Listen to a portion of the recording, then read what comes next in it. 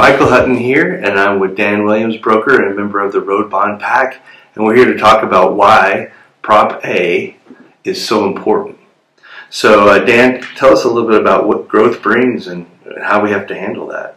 Yeah, growth is excellent, obviously, uh, but along with growth, we need infrastructure. And so, some of the important things with this and why I got involved is uh, one of the, the most important things is safety. Um, so we've got a lot of schools uh, that are uh, along these thoroughfares, and so the importance of that is that our kids have a safe way to get to and from school, and um, and we need to improve the road conditions. Uh, we've got a lot of roads that have some issues that have gotten uh, really worn out. 34th Street, University, uh, Broadway is over 100 years old.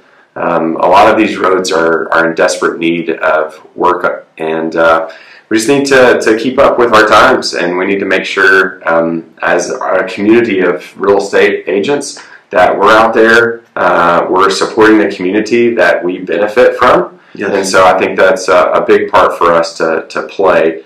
So roads bring neighborhoods and help neighborhoods develop and there are schools that, should, um, that are built in these neighborhoods is there some safety issues around those schools or yeah, certainly, because we've got a lot that are on two lanes, so we don't have turn lanes, things like that. So you can get you get congestion, then you start having accidents, and then you don't have shoulders, and you've got a lot of issues that come around from uh, you know just we're taking over county roads at this point, so it's really important for us to uh, come in and, and make sure that we've got the right infrastructure.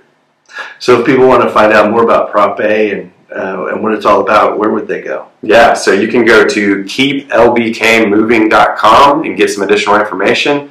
Feel free to reach out to me if you have questions about it. Uh, we've got a great community of people on the Roadway Bond PAC that are trying to help out and keep this thing moving forward. So keeplbkmoving.com and the Lubbock Association Realtors um, and, uh, have fully supports Prop A. Please vote yes and get behind growth and development in Lubbock County. Thank you.